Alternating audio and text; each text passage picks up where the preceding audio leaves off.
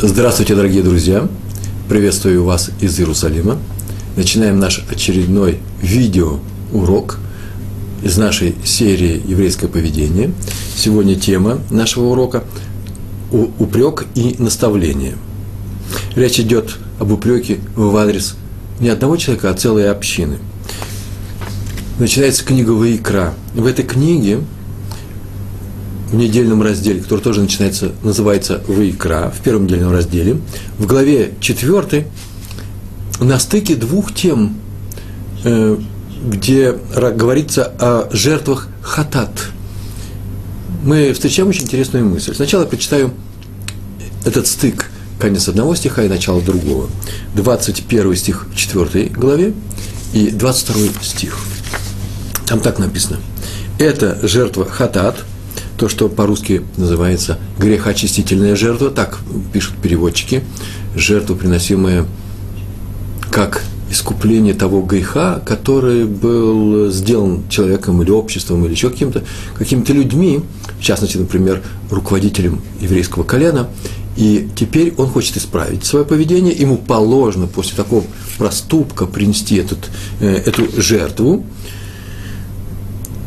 и написано, это жертва хатат для общины. Потом стоит точка, и начинается новая тема.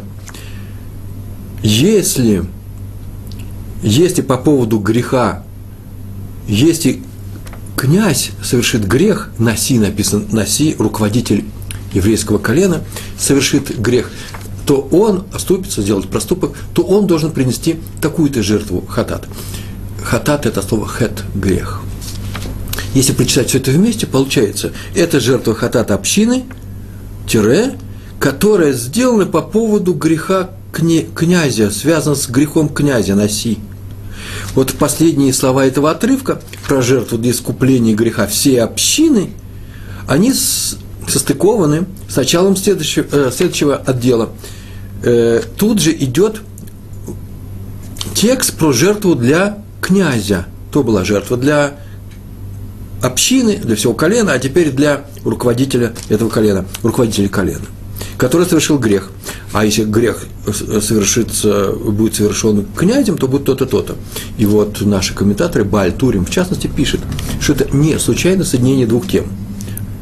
Первая тема, повторяю, идет о грехе, совершенной общиной, а вторая о грехе, совершенном князем, в данном случае Наси. И Бальтурин пишет, что грех общины – и тут же идет грех головы колена, зачем они стоят рядом, отвечает Бальтурим.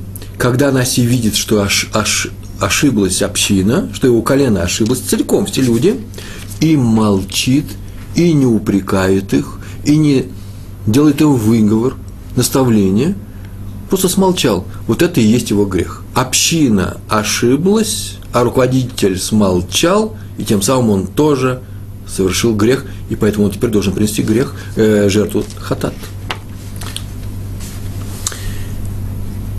У меня, извините, такая сложность в самом начале, дальше все будет очень просто, так сказали мудрецы в Мишне. Мишна – это запись устной Торы. Мы это прекрасно знаем. И написано в Талмуде трактат Шаббат, 54, 54 лист, вторая страница на этом листе. Там есть Мишна, весь Талмуд представляет собой не что иное, как комментарий на Мишну.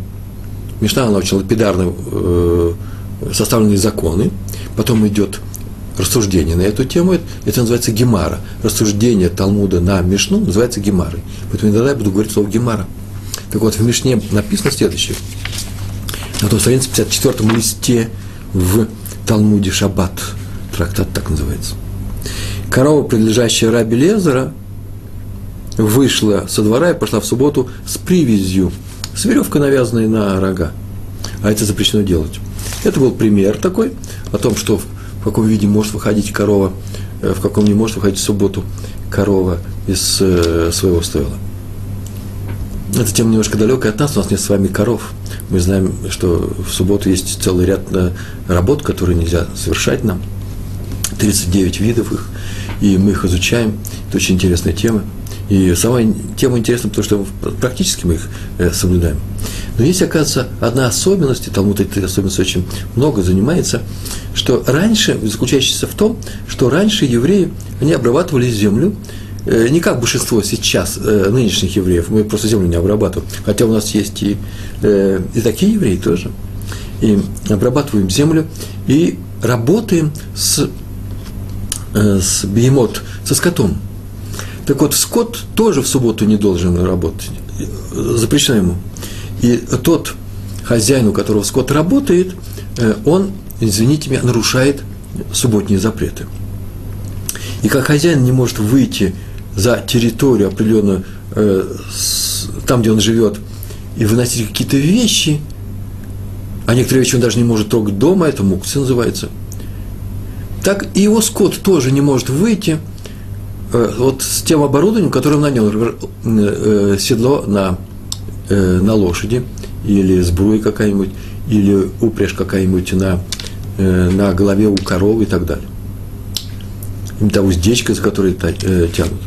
Так вот, однажды вышла корова с принадлежащей Раби Лезеру, крупнейшему учителю. Она вышла со двора и пошла в субботу с привязью, все это, все это увидели.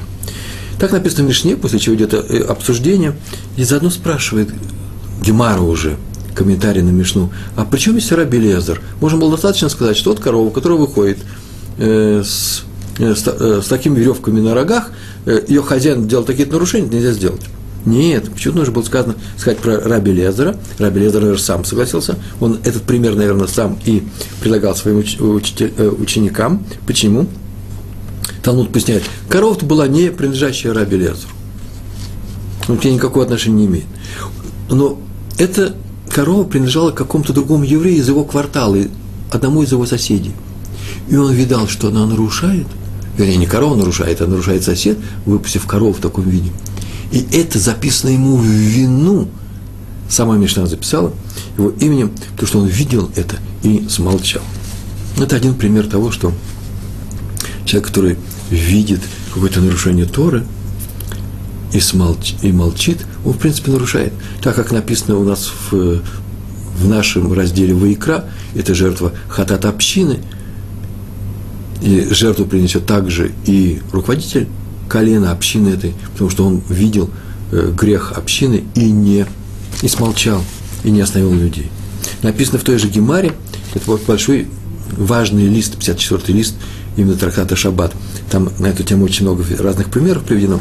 Так вот написано, что если кто-то видит чужое прегрешение и молчит, не протестует, говорит, ну это не мое дело, зачем буду ссориться с людьми, или вообще меня вообще ничего не интересует, главное, чтобы я не делал никаких нарушений, то э, и он не протестует, хотя может протестовать, то он сам совершает такое же прегрешение.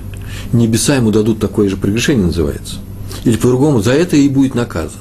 За такое же будет наказан.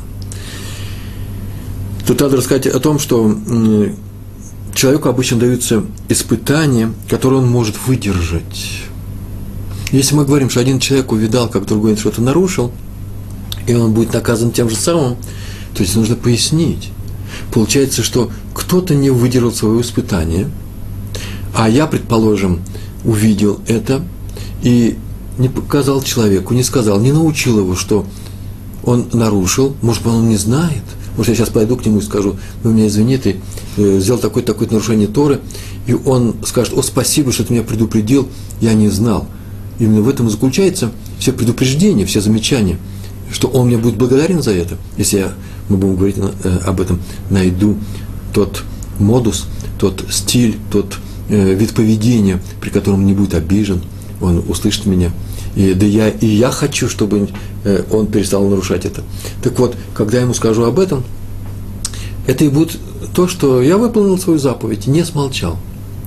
А вот если я смолчал – увидев, как другой еврей стоит перед каким-то испытанием и не выдержал его, а я смолчал, то это испытание будет у меня. И это уже непростая вещь. Дело в том, что у меня есть свои испытания. И Всевышний дает мне те испытания, которые я совершенно точно могу выдержать. Всевышний такое правило, никогда не дает те испытания, которые человек не выдержит. А теперь, как только я смолчал, зная, что это было испытание, то есть сделал вид сам себе, внутри, перед собой, что я-то бы его выдержал, оно и будет дано мне. И вполне возможно, что я и не выдержу его. Тем самым я как будто бы попросил его, дай, дай мне. Тем, что я сказал, что, ну что ж, сам себе, я еще вслух ничего не говорю. Ну, что ж, смотри, смотрите, он, нарушает. Это называется, о, я уверен в том, что я не нарушаю, а раз так, мне это испытание будет дано. А вполне возможно, мне не по силам. А теперь точная цитата вот это с 54 листа. Если человек видит грех своих домочадцев и не протестует, тех, кто, с кем он живет, то он будет испытан тем же грехом. Грехом, значит, испытанием. За это и будет наказан. Видит грех жителей своего города и не протестует, будет испытан, испытан тем же грехом. Видит грех жителей всего мира, целиком, все поступили неправильно, и он смолчал, будет за это наказан. Причем потому, что у него нет такого объяснения. Смотрите, я не могу пойти против всех. Этого объяснения, этого тирус называется, э, этого объяснения э, у него не существует. Рав Залман Сароцкин, это известнейший раввин, в книге, которая называется «Узнаем ли Тура», э, сейчас будет несколько слов про Иуду, руководителя еврейского колена Иуды, сына Якова – стих в книге Берешит 38, начало, самое начало 38, 38 э, главы. «И спустился Иуда от своих братьев».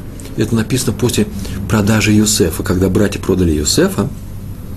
И в этой продаже Иуда играл одну из первых ролей – и эта, те, эта тема не наша, мы этим не занимаемся. Мы занимаемся еврейским поведением, которым еще не касались о том, почему нельзя продавать родных братьев. Ну, посмотрите, по-моему, в Толдотру есть лекции Рау Пантелята на эту тему. Посмотрите, там очень подробно все это рассказано. Так или иначе написано, после того, как кончается описание продажи Иосифа, начинается история с Тамар, невесткой, сначала невесткой, а потом женой Иуды – то значит, первые слова «И спустился Иуда от своих братьев». Обычно переводится «И отошел Иуда от своих братьев, удалился от них, стал жить отдельно». Но тут написано, написано «спустился». Откровенно написано «спустился». Может, он сошел с гор, может, там в горах они не пасли, а тут он, э, видно, что он спустился, своим другом пошел, не евреем, в то место, где его, его овец, у него были стада большие, э, стригли, стригали с них шерсть. А раз так, то, скорее, может быть, они спустились в долину. Так можно было подумать. Но дальше, в 12 стихе, это первый стих, да, в 12 стихе написано, что поднялся Иуда к тем, кто, вместе с своим другом, к тем, кто э, стриг его овец. Получается, что здесь вообще-то никуда не спускался. Что это означает? Спустился со своего царского положения. Да нет, все-таки тогда не будет смысла в 12 Поэтому а, э, э, это будет нормально. Свое царского положения спустился, не спустился с горы. И потому что нет смысла в 12 коленах еврейских. И у них Йосеф это нет. Так Раш написал, спустился со своего величия. Стал как все, обычным человеком. Для этого был царем. Но нам важно объяснение Рава Сароцкина. Он так написал на эти слова. И спустился Иуда от своих братьев. Он взял Таргум, перевод, древний перевод – текста Хумаша на арамейский язык, разговорный язык того периода, того времени, торгум Йонатана бен Узиэля. А там написано, спустился со своего богатства, не со своего царского статуса, а своего богатства. Это, знаете ли, калька э, с еврейского выражения. Это еврейское выражение обычно. Спуститься с богатства, спуститься со своего имущества, это называется его потерять. Если точно перевести слова. Потерял свое богатство. Вот написано, он спустился, и Раф Сароцкий спрашивает, а почему спустился с богатства? Почему в Торгоме Йонатану Бенузелем так написано? Да потому что и объясняет. Так в Медрашах написано. Его братья ошиблись, продав Йосефа. И он мог их остановить, и не остановил, а он пользовался, пользовался очень большим авторитетом, он смолчал, поэтому небеса наказали его тем, что он был, как будто бы один был виноват во всем и потерял богатство. По крайней мере, его был наказан именно богатством. Видите, смолчал. Это наша сегодняшняя тема. Ну, а теперь о том, как вообще делать замечания. Как ты можешь замечать, замечание делать не одному человеку? У нас был такой урок, когда мы говорили о том, э, что нужно было уклоняться от того, чтобы делать замечание одному человеку. И там было несколько правил. Посмотрите, в, э, в меню наших уроков еврейского поведения называется «мягкое замечание». По-моему, так назывался урок. А сегодня у нас совсем другая вещь. Упрек в адрес всей общины, сразу нескольких или многих даже людей. Так вот, Хофицхайм однажды услышал, что сын его покойного друга, знакомого одного, может даже некоторые говорят, что его ученика, открыл в каком-то городе, это было в Литве, кирпичный завод. Кирпичи обжигали, а вы знаете, что э, делают кирпичи при большом в печах. И это, этот кирпичный завод, кирпичный заводик работал и субботу тоже. В субботу евреи работают. В те времена это была редкость, это была дикость. И вот когда Хофис Хайм, он появился в том городе, он попросил этого молодого человека прийти, и он тут же пришел. И объяснил, что он ничего не может сделать. Дело в том, что это называется непрерывное производство. Технология производства кирпичей такова, что если перед субботой погасить печь, ее можно погасить, ничего срочного, сложного в этом нет. Но потом ее нужно разжигать будет еще два дня. Значит, первый день, второй день недели, воскресенье, понедельник э, пропадают. И он не может себе такое позволить. Видите, он объяснил чисто технологически и экономически большой убыток. Как Хофицхайм об этом услышал, услышал, все это внимательно выслушал и расчувствовался. Он был уже очень старым человеком. Помню, третий или четвертый рассказ о том, как Хофицхайм плакал. Он взял его руки в свои и не мог успокоиться, попросил его слезно, прям со слезами на глазах, э, чтобы тот перестал это делать.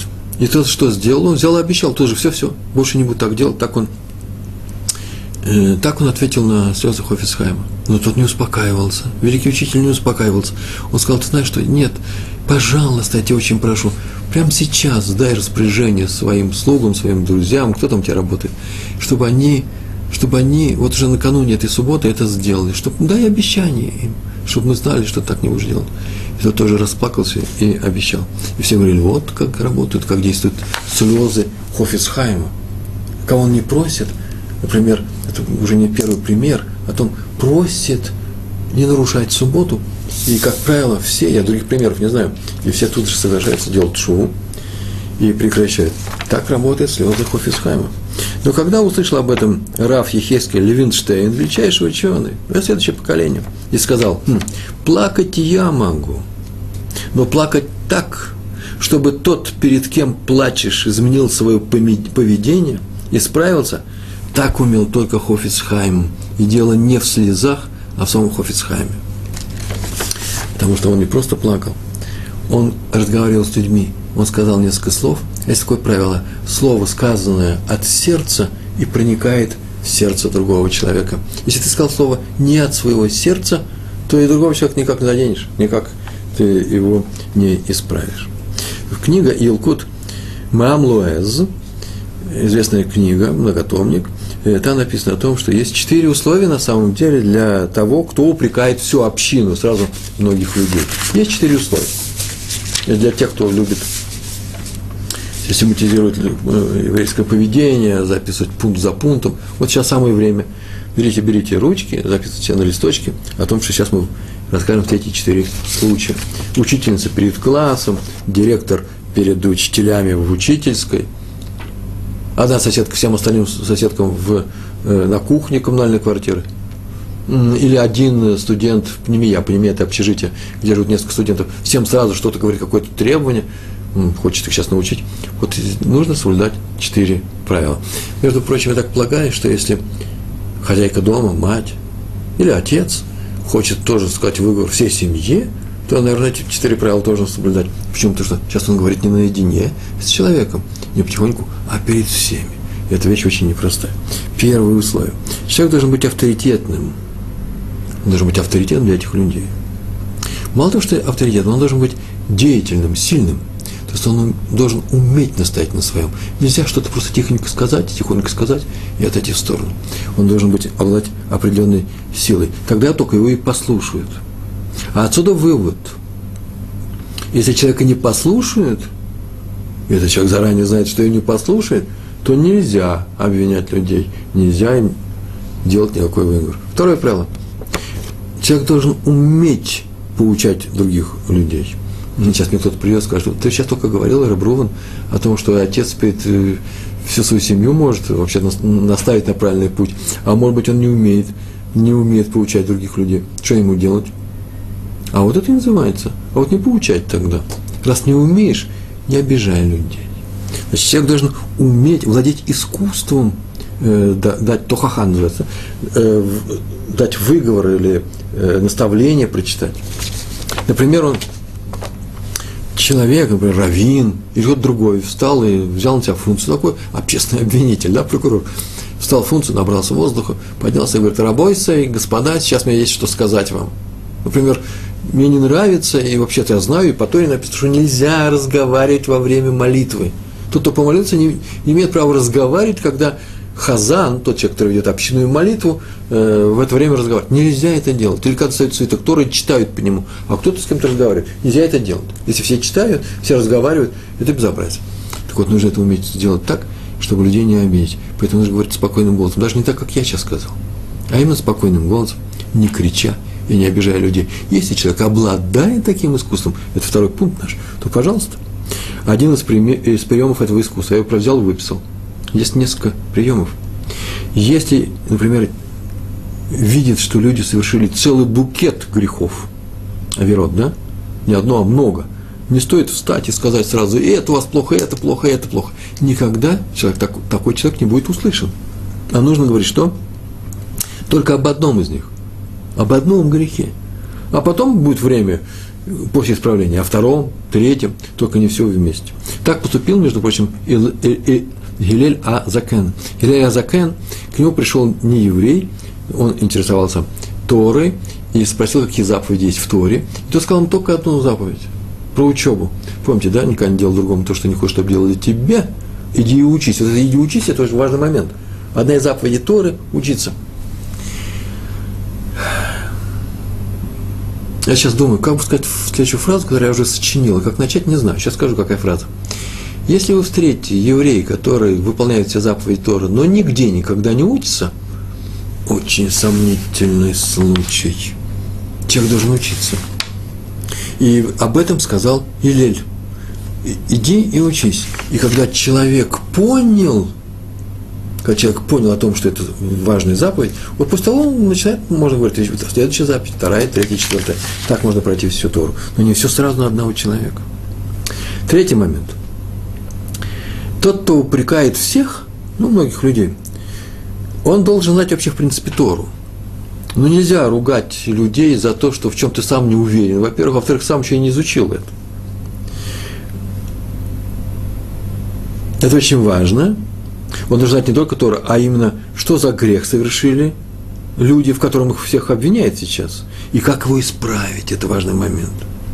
Ибо он, ибо он сейчас взял на себя своего рода э, медицинскую должность, звание лекаря.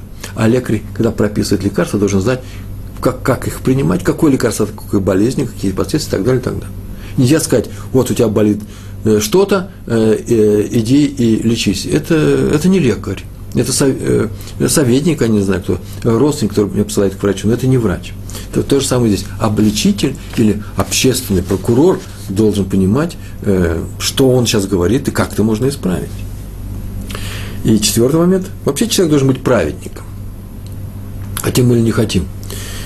Почему? Что это означает? По крайней мере, чтобы ему не сказали сначала пойди, исправься сам, а потом лезь к нам со своими замечаниями.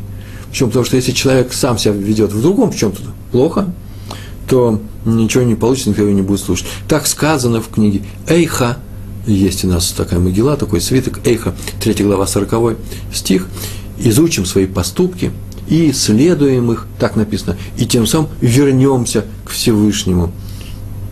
Это написано после разрушения первого храма, и там евреи делают шуву, исправление, и они сказали, что сначала мы изучим свои поступки, посмотрим на них, исследуем их, и, и тем самым вернемся к Всевышнему. Но здесь еще есть такой смысл, такое значение. Это означает, прежде чем учить своих близких, пойдем и изучим свои поступки и исправимся – только тогда у нас есть право учить других людей. Только тогда мы вместе, мы, справившиеся, эти люди, которые послушают нас, можем вернуться к Всевышнему. История про раби Исра Залмана Мельцера. В Слуцке один богач построил мукомольную мельницу. Мельницу, которая молит э, хита, пшеницу, перемалывает в муку. А построил ее рядом с Миквой. Скорее всего, это было, наверное, на берегу реки. Мельница от этой реки, лопасти вращались, и нужно было тихое зам, э, такое место, э, где водоворотов нет, и чтобы было такие места э, спокойной воды у мельницы. И он взял и использовал э, микву, которая тоже стояла э, на берегу реки, как я полагаю, судя по технологической конструкции, предлагается, что он построил почему-то рядом с миквой. И взял весь водосбор для своей мельницы, вот все это место. Было удобно. А у бедняков того места в городе Слуцке не было денег построить новую мику. Да и будут строить, они будут ее собирать, они ее построят через полгода, через год. Что теперь делать? Что сделал Раф Иср Э, Залман Мельцер. Он пришел с ним поговорить, тот отказался, значит, что не знаю. Это большой эсок, бизнес мой. Меня извините, я помогаю общине. Э, здесь я буду получать прибыль, с этой прибыли я даю сдаку, в общине очень много бедняков кормится с этого. С ним было трудно разговаривать. Мику его совершенно не волновало. Я бы задал вопрос, может, почему, куда жена твоего уходила. Тогда Раф Мельцер отменил, прямо издал такой приказ, указание, что в субботу, в ближайшую субботу, вечером все будут молиться, а утром синагоги все закрыть, и не будет шахарица ни в одной синагоге города. Отменяется. А всем людям прийти, собраться в большом дворе, двор был большой, большой городской центральной синагоги. И все пришли, и он начал громко, распевая с мотивом «Эйха» – «Плач по разрушенному Иерусалиму». Слова такие, я взял перевел. Что толку в нашей молитве? Город Слуцк, он к городу обращался. Что толку в нашей молитве, когда источник чистоты закрыт? Слышал ли кто про еврейский город, в котором нет миквы? Наш город единственный, в котором нет миквы. И народ расстроился, все понимали, в чем дело. Узнал об этом богач, прибежал, перепугался, попросил всех прощения, сейчас же пообещал тут же отстроить в течение недели Мику в городе. И спрашивает, а что он перепугался? Общественного порицания. Получается, что иногда стоит всему городу сделать замечание, не называя одного этого человека, а сказать, что все мы в этом виноваты. Почему? Потому что никто же ничего не говорит, один я э, побежал, мог бы сказать про себя раввин этого города. Мне нужна общая, общая поддержка. И как только все услышали об этом, тут же богач перепугался и исправил свое поведение. Это называется, что очень часто у таких людей выговор, общественный выговор, общий выговор получался. Он работал. Про обязанность порицать общину за общий грех. Талмуде написано, Талмуд говорит, что однажды заболел раби Йоханан Бензакай. Он заболел, и пришли к нему его ученики навестить его. Так положено у нас, когда человек болеет, нужно навещать. И когда их увидел учитель, прямо так написано, когда увидел их учитель, он стал плакать. И они спросили, почему наш учитель, почему наш учитель э, плачет. И там идет целый диалог, он объясняет. Эти слова, он, из диалога видно, что он умирает – и он боится не то что умереть, а боится наказания. И он такую фразу сказал, ответил, когда я стою на суде перед смертным царем, перед человеком, который сделан из басарова дам, я смертный человек, умрет, то я хоть знаю, куда меня сейчас поведут, какое наказание будет, какое наказание будет, как не накажут. Когда я предстану перед высшим судом, перед Всевышним, Акадр Баругу, перед нашим Всевышним, то я не знаю, куда меня поведут, в рай или ад. Такую фразу он сказал – он не знает, куда его поведут. В книге Раби Ильяву Лупяна, книга называется «Лев Ильяву», от имени его учителя, Сабы из Келема, был такой мудрец большой, написано, а почему заплакал э, Раби Юханан Бензакай? Ведь написано, что плакать? Ты еще живой? Сделай это живой, справься. У тебя еще время справляться. Не надо плакать, как будто у тебя уже не осталось никакой возможности для исправления. Без всяких слез. И еще, а почему он заплакал, когда увидел учеников? А до них он не плакал? А если бы он их не увидел, так бы он и остался спокойным, благодушным в своем состоянии, да? Это, же, это я от себя добавляю. У Рава Лупяна этого нет. Он что, плакал так вот показными слезами? Зачем это нужно? И только при них он вдруг понял, куда его поведут. А до этого он не знал. И сам же Раби Илья Голупян от имени Сабы из Кельма ответил, нет, он знал прекрасно, что он выполняет все заповеди Торы. Он старался. В этом у него не было проблем. Но как только увидел учеников, он испугался. А вдруг он не сделал им в свое время нужных замечаний, не остановил каких-то ошибок, не упрекнул, не, не дал, не сделал им выговор, когда надо было, а и не прочел наставлений, когда мог прочесть наставление, за что они, конечно, бы сказали ему спасибо. Он испугался, может быть, вот за это его накажут. То есть нужно было сделать замечание, а он смолчал. И поэтому он сказал, я не знаю, там так написано, Мавримати, да? На, на иврите это звучит следующим образом. Вот так сказал в Талмуде. Я не знаю, куда меня ведут. По-русски слово «ведут» – это третье лицо. Во втором лице говорят «ведете». А на иврите это одно и то же. И получается на иврите, что я не знаю, куда вы меня поведете. Как ваши дела скажутся на награде или наказании э, э, после э, всей моей жизни.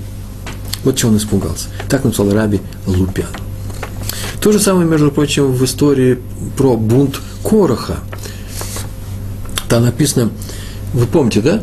Корох устроил бунт против Моше Рабейну, сказал, что почему только Моше и его брат родной Аарон, они мы двоюродные братья, я, в частности, Корох, прихожу из той же семьи, даже еще старше, по, старшим братьям э, из, от наших отцов. Почему они обладают властью, а мы нет? Почему мы разве не все одинаковы?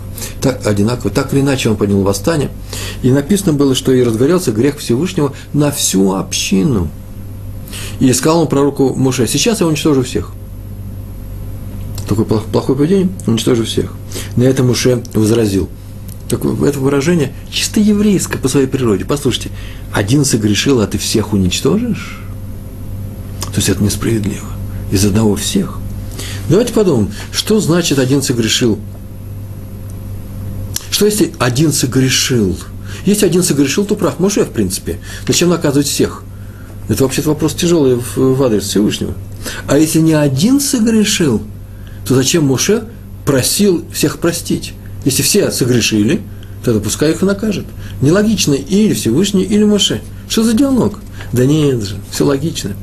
Все видели, как Корах разговаривал с Муше нагло, вызывающе, как он себя вел неуважительно к руководителю, к руководителю, с руководителем народа. Он видел, что все видели, что он хочет захватить власть, и смолчали. Вот и это поставлено им в грех, в проступок. Вот за это Всевышний и хотел их наказать. Вы видите несколько примеров уже у нас, э, говорящих о том, что если человек видит чужое нарушение и молчит, то это очень плохо это безобразие. Он понесет э, вину за этот грех, он будет также наказан. Но обвинять всех, как мы сейчас уже сказали, трудно и даже опасно. Четыре условия мы сейчас с вами проходили. И вообще мы знаем, что они говорят слова обвинения при всех, стараются не обижать людей. Одного уж точно нельзя при всех ругать, это во всех случаях. Я знаю случаи, когда можно, но это не, не сегодняшняя тема, это редко, редкий случай. Но иногда, иногда только такие слова и помогают. Вот самое интересное. Особенно, если обвиняется вся община. Ей нужно смело сказать и продуманно, соблюдая все эти четыре условия о том, что она ошибается. Так поступал, по, крайней мере, Всевышний в Хумаше, так написано э, в Пятикнижии нашем, когда обвинил, например, евреев в грехе золотого тельца. Он прям так сказал, нарушили, преступники, я их убью, передай им, что они преступники. Это же называется э, выговор, причем очень такой непростой, критический. И собрался он их убить. И также поступил, поступал Моше очень часто, когда он обвинял всех евреев в их грехах. Так и говорил, это народ, э, обладающий такими-то характеристиками, такими плохими. Э, э, плохой народ очень часто говорит, ты жестоко, вынный по-русски. И поэтому ты мне дал его нести, на себе, мучиться. Это же тоже, между прочим, слова, сказанные в адрес Всевышнему, это более, чем громкие слова, чем слова, сказанные в адрес самим евреям. И самые тяжелые обвинения приведены в книге «Дворим», в последней книге Пятикнижия. Отсюда мы учим, что только критическая ситуация может заставить нас обвинить всех в грехе. То есть, если есть страшный страх, просто страх э, за последствия этого греха, вот тогда, хотим мы или не хотим, надо найти все силы, э, стать, взять на себя роль э, обвинителя. Но нельзя это делать только из плохого характера, чтобы показать, что ты раздражен, что ты не боишься выступать против всех. Э, не надо брать на себя роль Чадаева, обвиняя э, или всех евреев, или нацию, или даже группу людей. Вообще старайтесь не давать характеристики нигде. Когда будете писать какой-то текст у себя в ВКонтакте или в, рус, э, в живом журнале, или э, какая у вас социальная сеть, вообще старайтесь не писать о других людях, особенно плохого, а уж тем более не обвинять целую общину, целую, э, целое, целое общество.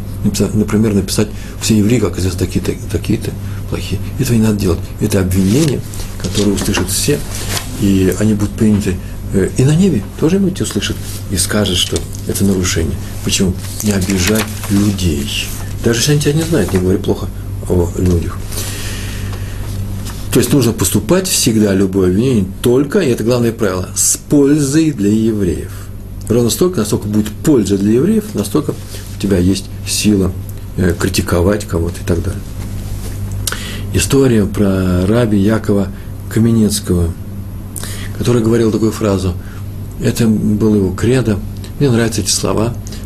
Кажется, я первый раз об этом говорю, еще не говорил в своих уроках, а у нас уже 45-й урок сегодня. Он сказал такую фразу – надо каждого ребенка воспитывать таким образом, будто в будущем это Муше Рабейну, наш учитель. Как будто это Муше Рабейну, только в маленьком возрасте. Вот так к нему нужно относиться, вот так его нужно и воспитывать. Вы понимаете мою фразу, да, правильно вы ее понимаете? Это не означает, что надо так воспитывать человека, надо ему внушить, что он Муше Рабейну. Никто об этом не говорил. Мы говорим совсем другую фразу. Мы говорим о том, что так к нему нужно относиться уважительно – зная, что в будущем это будет Моше Рабейну. Это очень интересный пример. Раньше, когда я занимался такими вопросами, и до того, как я не почитал про раби Якова Каменецкого, тоже было несколько лет назад, еще помню, в Москве, где-то я читал в книгах и известных книгах о том, что нужно очень уважительно относиться к своему ребенку, зная, что это вообще-то взрослый человек перед тобой стоит, но которого ты застал, которого ты поймал да, в его детстве, и поэтому ты с ним обращаясь таким образом, исходя из собственной физической силы и своего опыта. Ну смотри, это взрослый человек. Я всегда добавлял, так смотри на другого человека, как будто это уже э, Эйнштейн. Ведь Эйнштейну ты же ничего не скажешь плохого, а, э, обидного, э, неприятного. Почему? Потому что уважаемый человек, человек уважаемый всем миром. Как же я могу сказать плохое Эйнштейну, даже если он, может быть, сейчас не очень удачно пошутил? О, то же самое, так себя и веди и со своим ребенком, и вообще с любым другим ребенком. А мне говорят, да он же не может быть Эйнштейном. А ты так себя веди. И вдруг я читаю у Равьякова и Каменецкого еще интереснее пример. Каждого нужно воспитывать так, как будто бы он Моше Рабейну. Тот человек, который освободил нас из египетского э, рабства, и через которого мы получили всю Тору. Так называется у нас Тора, пятикнижие нашего пророка, пророк нашего учителя Моше. Это крупнейший еврей. Из всех евреев, которые когда-нибудь были, после Авраама, по-моему, сразу же идет образ э, Муше, пророка Моисея. Так вот, Раби Яков Камецкий, повторяю, сказал такую фразу, что нужно каждого ребенка воспитывать так, относиться к нему, как будто это уже Муше Рабену в детстве. А почему? И объяснение есть. Смотрите за моей мыслью, она непростая. Потому что у Рамо, у коммен... Рамо это известнейший комментатор Талмуда, э, Талмуда, извините, Шулхана Руха. Написано, законы только отнеситесь к этому творчески, я очень прошу. Правило очень непростое, но оно мне нужно. Запрещено отдавать еврейского ребенка нееврейской кормилице, чтобы она его выкормила. Если есть еврейская кормилица, понятно, что если нет, разговора нет. Мы, это называется пикух. Ребенку уже молоко, у мамы нет молока, или мамы нет с молоком. И мы дадим любому. Но если есть еврейская кормильца, так было в те времена, по крайней мере, времена Рамо. Это тогда были непростые отношения у нас с окружением. Сейчас, может быть, по-другому, сейчас, может быть, идет и облегчение. Я не занимался специальным вопросом кормилец. Это нужно, эту тему, конечно, тоже поднять, очень любопытная тема, потому что это актуальные вещи, она и сейчас происходит.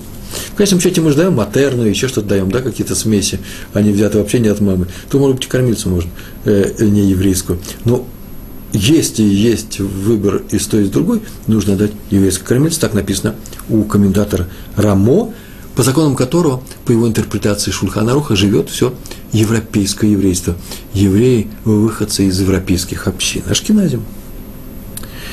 А вот интересно, что Гаон из Вильны, второй Ашкеназ, да, крупнейший ученый, Гаон из города Вильна, Вильнюс, он написал, он а, объяснил нам, почему маленький Муше отказался в свое время принять молоко нееврейской кормилицы. Его поймали, э, поймали, достали из воды, оказывается, предложили, так написано в Мидрашах, нееврейской кормилице, или же, говорят, после того, как сначала его покормила его мать, да, а потом все-таки передали на кормилицу, он не брал грудь, он не хотел, чтобы у него была нееврейская кормилица. И написано Мидраш, почему? Потому что так там написано, ведь тот род, которому он берет нееврейскую грудь, он с этим ртом будет разговаривать со шхиной, с проявлением Всевышнего на, э, э, на земле. Ну, сказал, сказал, Гаон из Вильна нам объяснил этот мидраж. Да, но возникает вопрос. Между прочим, отсюда следует, вот и воспитывайте всех детей, как Моше Рабейну, но меня извините, они же никогда не достигнут уровня Моше. Никогда этого не будут, они не будут разговаривать с Шхиной. Особое воспитание – так вот, вы обязаны подходить к своим детям так, как будто это будет Моше, даже если вы почти уверены, что Моше его не будет. Кто знает, что будет? Кто знает, что будет завтра? Кто знает, какая, какая роль отведена тому или другому человеку? И Моше не знал, что он будет Маших, человек, который спасает евреев, и многие персонажи э, нашей Торы, э, Танаха, тоже не знали о том, что их ожидает в будущем. Не все пророки с детства знали, что они пророки, и мы тоже самое мы не знаем, кем будем мы и мы не знаем, кем будут наши дети. А поэтому уже подходим друг к другу, как будто этот маленький мальчик, который сидит напротив меня, и которого еще можно даже и наказать, мы к нему подходим, как Муше Рабейну. Муше Рабейну просто так наказывать не будем. Даже если он еще маленький. Почему? Потому у нас особое отношение к нему. Так вот, у нас особое отношение ко всем. Вот это и есть доказательство. Однажды Раби Борух Бер Лейбовец увидел, как его внук на исходе субботы, суббота уже кончилась, пошел и зажег в комнате свет. И прежде чем произнес специальную формулу, специальную молитву Амавдиль. Амавдиль, мы произносим Амавдиль, это отделяющий субботу от будни, и после вот этой короткой формулы, как благословение своего рода, мы показываем о том, что мы вышли из субботы, и теперь можно делать те работы, которые в субботу нам были запрещены. То есть, смотрите, суббота кончилась, мы могли бы эти работы сделать, но есть постановление мудрецов, прежде чем сделать первую работу, уже в будни – когда разрешается делать э, разные работы, запрещенные в субботу, то скажи эту формулу Амавди. Обычно мы идем после субботы, молимся Марев, и там уже эта вставочка есть, и это вечерняя молитва. Наши э, женщины э, тоже произносят эту формулу. А еще она входит в Авдала. Авдала – это сразу несколько таких кусочков, это благословение на, на благовоние, на огонь и на разделение будней Э, от субботы. После этого можно работать. А он это сделал до Амавди. И после Авдалы, после того, как сделали благословение, принесли благословение исхода субботы, он этого мальчика подозвал и сказал ему лично, конечно, не перед всеми, не дай Бог, он сказал, ты мой любимейший внук, ты мой самый хороший, ты всегда делаешь правильную вещь. Все, больше мне ничего не... И сделаешь, что все, больше ничего не сказал. И ребенку это очень понравилось. После чего он добавил, ах да, вот еще, ты знаешь, ведь вот нарушение у нас маленькое было сегодня, по-моему. Ты, по-моему, зажег свет, а еще не надо этого было делать. А это была большая семья, мне известно, семья Лейбовец, это раввины. Там у них дети были, не просто дети, это были раввинские дети. Они соблюдали все законы. Это не надо было сделать. И он сказал, вообще тебе полагается теперь даже наказание. Ты нарушил постановление мудрецов. Как тебя наказать? Мальчик опустил глаза и сказал, ну ударь меня, дедушка, ударь меня. Сам попросил. И кто-то кончиком пальца дотронулся ему до щеки и сказал, вот, извини, ну больше, больше так не поступай. И это было как наказание воспринято. Даже не почувствовал ничего. Почему он так сделал? Да потому что кто-то из учеников заметил,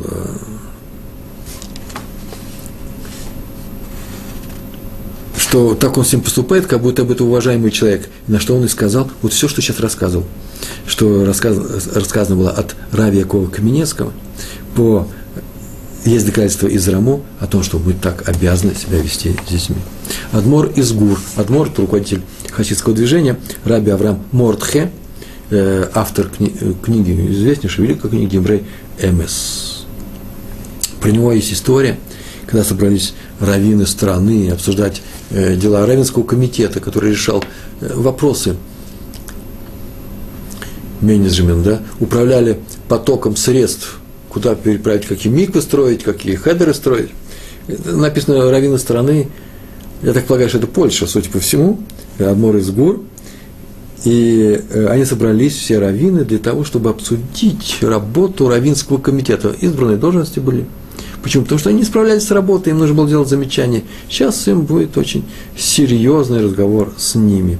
И он сказал, вы знаете, в самом начале, как к нему пришли советоваться, он был старейший из них, он сказал, вот сейчас, конечно же, нужно сделать эту, эту критику навести, сейчас обязательно мы это сделаем.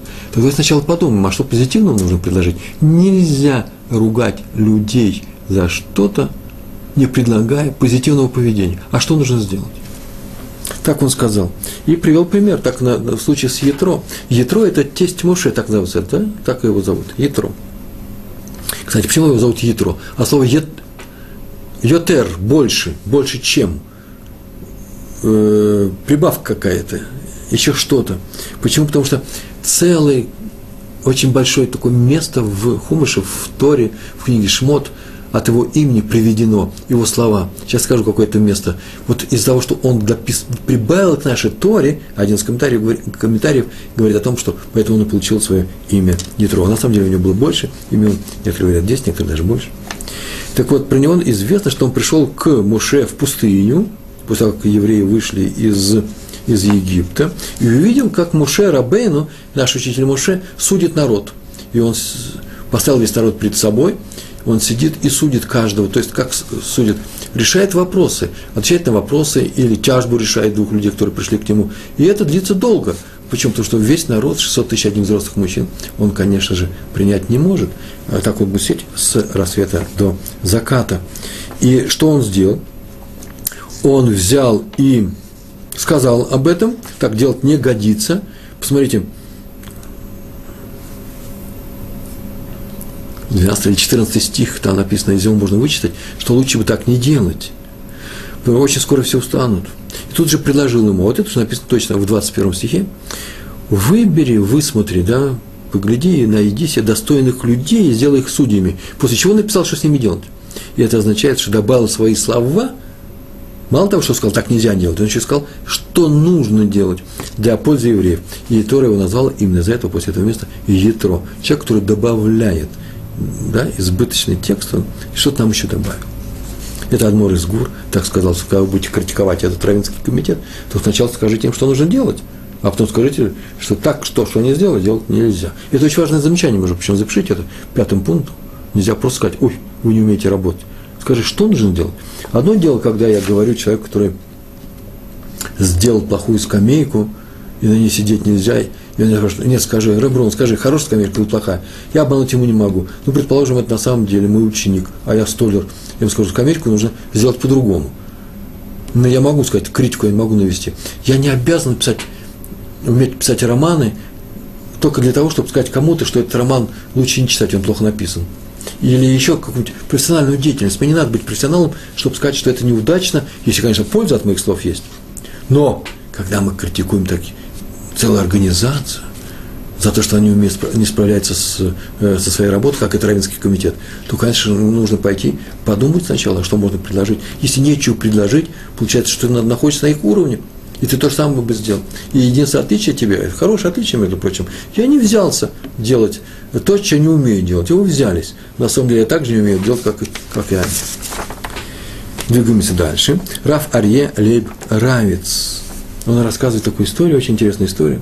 А что однажды он был в Тель-Авиве, он приехал из Нейбрака, судя по всему, был в Тель-Авиве и молился в синагоге. Там Шхуна есть район, Монтифьори, в Тель-Авиве такой район есть. И он там молился в синагоге вместе с местным раввином, с главным раввином данной синагоги. И они молились, и обнаружил, Раф э, Рамец, о том, что вообще-то народ тель-авивский ведет себя, по крайней мере, в этом районе, по крайней мере, в этой синагоге, по крайней мере, в последний раз. Так оно и было, они исправились. Сейчас не справятся. Здесь все не очень хорошо. Помните, говорили на эту тему? Идет молитва, они разговаривают во время молитвы. И выдостают Тору, они разговаривают, болтают во время чтения Тор. Это недопустимо, совершенно недопустимо. Я всегда привожу такой пример. Представляете, сейчас поднимается наша молитва наверх, и там ее рассматривают, берут ее к сведению, считывают с мониторов. Такой файл получили. И вдруг идет помех, идут какие-то помехи. Кто-то кому-то говорит совершенно пустые слова. Там же все воспринимается. Если сейчас вы придете и скажете, да нет, там стоят фильтры, молитва идет, а это отфильтровывается, ничего подобного. Все, что выходит из уст еврея, попадает на небо. Об этом нужно знать, поэтому нельзя разговаривать. Ни больше, ни меньше. Во время молитвы. Так вот, там так себя вели, неудачно. И вдруг произошла следующая, произошла следующая сцена. Раф, вот этот главный раввин, который там был, он после молитвы попросил слова. Может, там всегда так делали? Я, пожалуй, раз два за свою жизнь такое видел. И он встал и сказал. Сейчас он им будет рассказывать о том, что нельзя разговаривать, нельзя болтать во время, во время молитвы, во время чтения Торы. А он повел себя совсем по-другому. Он так сказал. Однажды Хофицхайм, был в одном городе, его не все знали в лицо. Мало кто знал. Но он же был уважаемым человеком, и руководители этого города, этой, этой синагоги пригласили его помолиться именно к ним, для того, чтобы он потом прочитал им стиха называется, или дроша, дал урок по Торе. И никто не знал его, и поэтому вели себя спокойно. У меня, знаете, в начале, в конце 19 века, в начале 20 как сегодня, евреи немножко разговаривали, разговаривали там, не зная, что это Хофицхайм, при нем разговаривали во время молитвы. И после молитвы, так рассказывает раввин квартала, в котором молился Рафранец, Хофицхайм поднялся и сказал, я сейчас, два слова у меня есть к вам, Идн, еврей. Дело в том, что я уже, уже человек не совсем молодой, и уже задумался о том, что моя жизнь, ну, скоро когда-то я предстану перед Всевышним. И вот чего я боюсь. Вот стану я перед Всевышним, перед там высшим судом, и скажет мне, о, пришел известный человек, уважаемый, обладающий авторитетом. Скажи, пожалуйста, уважаемый человек, а почему ты однажды был в таком-то городе, и там люди при тебе разговаривали во время молитвы, и ты им ни слова не сказал, и за это меня накажут.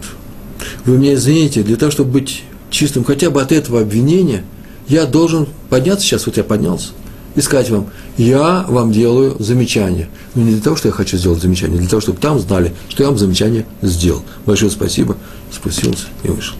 Видите, он делал замечание не для того, чтобы обидеть людей, он нашел такой путь, такой непростой путь, для того, чтобы что снять себе обвинение. Где? Там на суде. Так сделал Хофицхайм. И так сделал Равин той синагоги, где был Рафравец. Он вообще рассказал историю про Хофицхайма. Он слова не сказал, про этих людей ни слова не сказал кто, как, как называется, у кого есть уши, тот да, пусть, пусть тот и услышит. Трактат Санедрин, в 20 стих, там написано о том, что когда царь Шломо согрешил, то это была ошибка, сделал плохую вещь. Делал Шломо плохо. И это написано, знаете, почему, что он делал плохо? Что, что, если ты услышишь, что царь Шломо согрешил, это ошибка. Так написано в трактате. Так это написано потому, что он делал плохо, что видел плохие дела своих жен и не запретил им и молчал. То же самое про Авнера, царский советник. Почему он был наказан? Написано в Сангедрин, это 50, э, там был 20 лист, это 57 лист, вторая страница. Да потому что не возразил ни слова упрека, не сказал царю Шаулю за то, когда, э, что он уничтожил город священников, Куаним, который называется Нов. А некоторые, прям тоже написано, написано, Раф Яков сказал, по-моему, смотрите, Раф сказал, да нет, он-то сказал, но его не услышали. Значит, так сказал, что его не услышали, Лонаны. Ему не ответилось. То есть умею возразить так, чтобы тебя послушались. Что мы отсюда учим? Спрашивает Талмуд, это в Талмуде написано, что евреи в ответе один за другого. Если можешь исправить действие другого, ты обязан это сделать. Так же, как обязан исправить свои действия, это ты должен сделать, и также ты должен участвовать или помочь человеку, чтобы он исправил свои действия на весь еврейский народ Всевышний смотрит как на одно целое, вместе, на всех на нас. И нам всем будет плохо, если кто-то из нас делает какие-то ошибки. Мэри, Мэри – это известный ученый, в трактате, который называется Баума Ц, 31, я написал 31 лист, первой страницы, он так написал. Написано в трактате Шаббат, это мы с вами проходили в 54 лист, да, что каждый, кто делает, кто может сделать другим выговор и не делает его, когда надо, сам будет наказан за этот же грех. И это несмотря на то, что такому человеку могут сказать, после того, как он сделал замечание, что его не любит за то, что он делал другим э, выговор, а тому, кто смолчит, скажет, что его любит, почему? Потому что он не пристает к людям, он, не, он, он им удобен. Тем не менее, добавляет Мэри, он на этом месте, Баумаце, что надо делать выговор, надо его делать. Даже если тебе скажут, что тебя не полюбят. Но отсюда следует, что говорит, делай так, делай выговор так, чтобы ты чувствовал собственную любовь к этим людям. Это очень важный момент. Любя, делай наставление, чтобы не было ненависти. И наоборот, наоборот даже, чтобы была любовь. Так сказано в трактате Орахин. Сказал, вот интересная фраза, сказал Раби, там так написано, сказал Раби Йоханан бен Нури, я свидетельствую, наверное, перед людьми стоял, я свидетельствую перед небом и землей, что много раз в своей жизни я жаловался на своего друга, старшего друга, Раби Акиву, за какие-то его дела, проступки, наверное. Иначе зачем же он жаловался? А кому он жаловался? Рабану Гамлиэлю. И он, Раби Акива, знал об этом и всегда любил меня. Вы слышите, он свидетельствует о том, он свидетельствует не о том, что он жаловался, он не скрывал, он не был доносчиком, а о том, что Раби Акива был такого уровня человек, что когда ему доставляли неприятные моменты, но он их воспринимал как что? Как вещь необходимая ему, он с любовью принимал все замечания своего адрес и любил другого человека.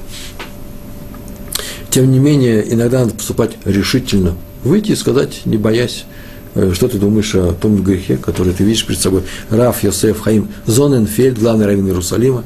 Однажды ему сообщили, что в Иерусалиме есть семья. Это была единственная семья сто лет назад – э, примерно э, была одна, где открыто не соблюдают субботу. Таким были они, люди, людьми. И он пришел к ним в субботу, прям без стука пришел, для того, чтобы сказать, что нельзя нарушать субботу. У них там э, и радио работало, может быть, и, э, просто камин был э, зажжен, горело отопление. Они дрова-то э, э, клали. И вдруг они увидали, семья была, они просто начали кричать на него, проклинать. Он все это выслушал молча. Они сказали, что нельзя сюда приходить, сейчас обратятся в городскую управу, в полицейскому. Э, э, нельзя заходить в чужую территорию без спроса, без стука. Они, в принципе, правы. На что Равзон совершенно спокойным голосом сказал, когда горит дом твоего соседа, не спрашивают разрешения, а вбегай туда и спасают этого соседа. И вошел сам без спроса для того, чтобы спасти ваши души. Потому что так себя вести нельзя. Это он сказал прямо э, перед потому что он не один пришел. Но для этого нужно ряд э, э, условий. Значит, какие ряд условий? Мы говорили об этом еще в наши предыдущие, предыдущие уроки. Можно, если ты делаешь выговор другим людям, нужно быть при этом, нужно быть уверенным в том, что это на самом деле грех. Надо быть тем человеком, который этого греха никогда не совершал, иначе получится мне, извините, ну, в лучшем случае совет, потому что я один из вас, давайте как-то исправимся дела – а со стороны такого нельзя делать. Надо уметь говорить уважительно, спокойно, тихо, как сейчас сказали, с любовью, и надо быть авторитетом в глазах людей. Об этом мы говорили, все четыре пункта остаются. Ибо сказано в трактате Евамот, есть такой трактат, трактуда, э, Талмуда, как есть заповедь говорить перед тем, кто услышит, так есть запрет говорить перед тем, кто не услышит. Мы говорили на одном из уроков об этом. Хазон Ишер сказал, что в браке один его сосед по субботам, Дина называется, Э, лужайка перед домом у него была, и он каждую субботу выходил и работал на этой лужайке. Постригал там что-то, еще что-то копал. И его спросили Хофицхаймова, ты же видишь каждую субботу, ты почему ты не обращайся к нему? Может быть, без упрека они ему сказали, может быть, сейчас мы пойдем, Рэбе, пойдем ему скажем. Он сказал, без толку, запрещается. Почему? Вы же видите, в каком районе мы живем? Здесь живем, все соблюдают, и значит, ему сделали замечание много раз, а он продолжает работать, а раз так, то он нас не слышит, а раз так, то нам запрещается разговаривать с ним. Вот вся логика. Ну и в конце уже остается полминуты о том, что лучше воспитывать людей не окриком. Это всегда важный момент. Не выговором, хотя без него иногда не обойдешься, а личным примером, как это делал Авраам Авин, Авраам наш пратец. Хотя иногда, это сегодняшний урок, как того требует Тора – надо сделать всей общине одно громкое, может даже рисковатое замечание. Только для общины, не для себя, не для понятия собственного авторитета, а именно для пользы всей общины. Ну и тогда будем делать это замечание, то громкое замечание, которым сейчас, на котором мы кончаем наш урок, я бы так сказал, будем его делать, страдая по поводу того, что некоторые люди могут подумать, будто мы с вами сейчас не соблюдаем заповедь любить ближнего как самого себя. А значит, сначала мы будем, мы будем любить других людей, а потом делать их замечания. Только от любящего сердца другое сердце и может услышать э, э, слова упрека, э, что все было у нас хорошо, что мы соблюдали Тору. Э, будьте здоровы, всего хорошего. Шалом, шалом.